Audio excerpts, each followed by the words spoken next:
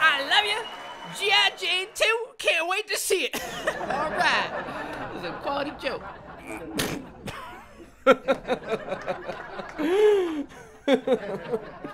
Well, Babe, it's just a joke. Chill. William. Uh, ba- Babe, it's it's just a. Tupac wouldn't let anybody talk to me like that, William. So you better go deal with it right now, or you'll know what I'll do. You little cuck. Uh-oh.